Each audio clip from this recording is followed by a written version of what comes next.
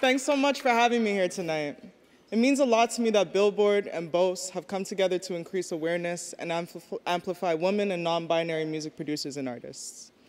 Couldn't be more proud to be a part of a platform that is working to inspire the next generation of talent. So let's inspire the next generation, one award at a time, starting with the incredible Rosalia,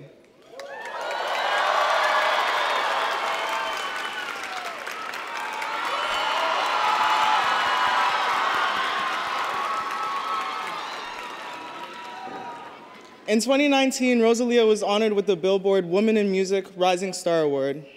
In addition to her skills as a singer, songwriter, dancer, Rosalia also produces music. She has production credits on some of her biggest hits and latest tracks, including Saoko and Despecha, her first solo Hot 100 hit.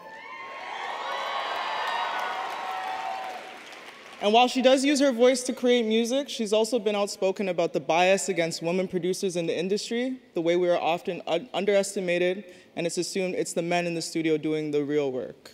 And trust me, we do the work. The first time, the first time I met Rosalia, I was in awe of her presence. You can immediately see what she offered as an artist and how she demanded the room.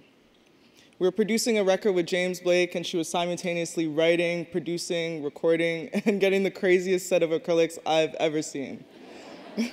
Her confidence to take creative risks inspires me every day as an artist and producer.